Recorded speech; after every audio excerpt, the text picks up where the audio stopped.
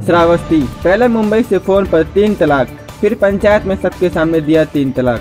पत्नी के तीन तलाक न मानने पर पति ने पंचायत के सामने ही पत्नी को जलाकर राख कर दिया, जिससे पत्नी की मौके पर ही मौत हो गई और पंचायत मुख दर्शन बनकर घटना को देखती रही।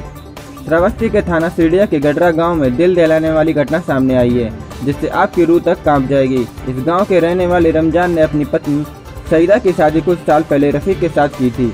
रफीक मुंबई में काम करता था। एक दिन रफीक और सईदा की फ़ोन पर नोकझोंक हुई थी।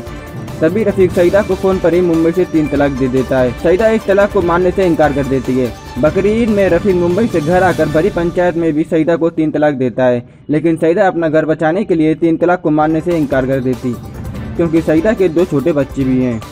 वहीं पंचायत सईदा पर तलाक मनाने का दबाव बनाती है लेकिन सईदा नहीं मानती। इसी बीच रफीक बड़ी पंचायत के सामने ही सईदा को आग लगा देता है जहाँ पर उसकी मृत्यु हो जाती है। पुलिस ने सबको कब्जे में लेने के बाद पोस्टमार्टम के लिए भेज दिया। रिपोर्टर कदम सिंह।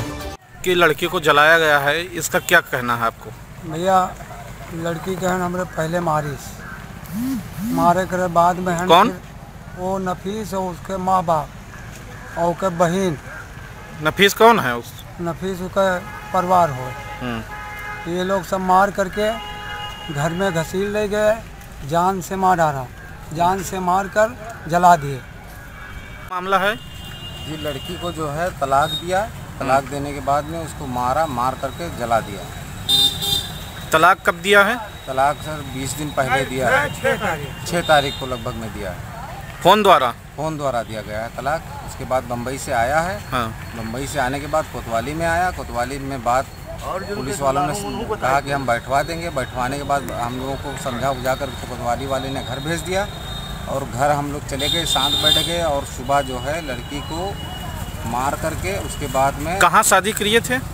जी गाँव में ही किया है शादी गाँव में बगल में। गड़रा गाँव में ही है? गढ़रा गाँव में हमारे घर से माइका से और उसका घर ससुराल लगभग डेढ़ से दो किलोमीटर का फासला है। जलाकर मार दिया गया। सर क्या प्रकरण है? क्या कार्रवाई पुलिस कर रही है? थाना भिंडा के ग्राम गढ़रा में एक रमज़ान अली है। उन्होंने एक तहरीर थाने पर आकर के दिया कि उनकी पुत्री को उनके परिवार वालों ने ससुराल वालों ने जला दिया है।